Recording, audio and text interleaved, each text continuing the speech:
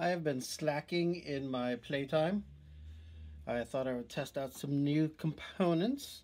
I bought some arcade buttons. I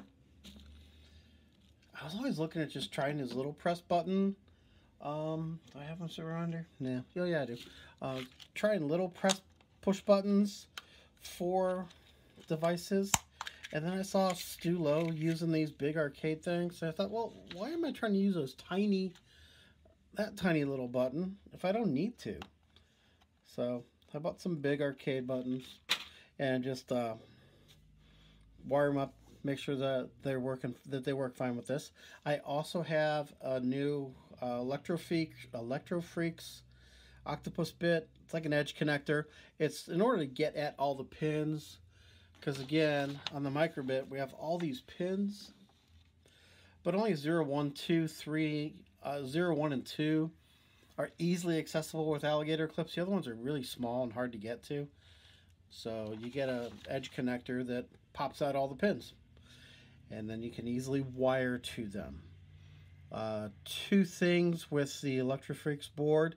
One, it has a switch here that is supposed to be able to switch the second half of these pins the ones that are in blue, that would be uh, 8, 9, 11, 12, 13, 14, 15, 16 to 5 volts because some things want 5 volts.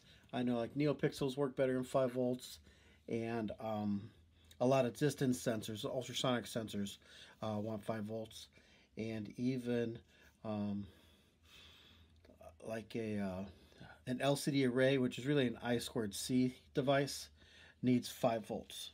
So that's why they've got that little switch there. I haven't tested it yet, but we're hoping for it.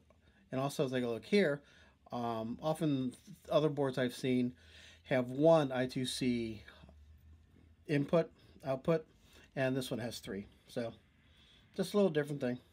So I've got these buttons here. Buttons have two connectors. Sometimes limit switches have three. It's a normally open, normally closed, and then um, the ground one?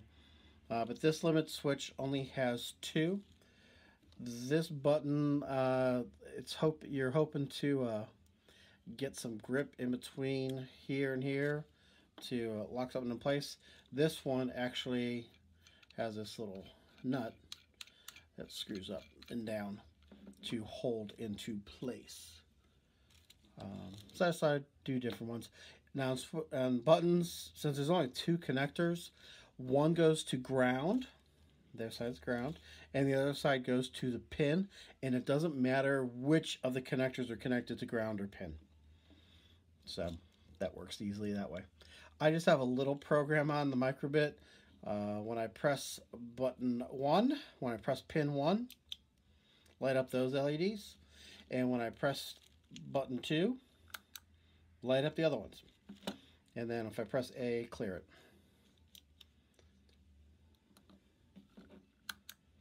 So I'm probably going to set up that reaction game that Stu Low um, has on the web for us to play with. So there we go.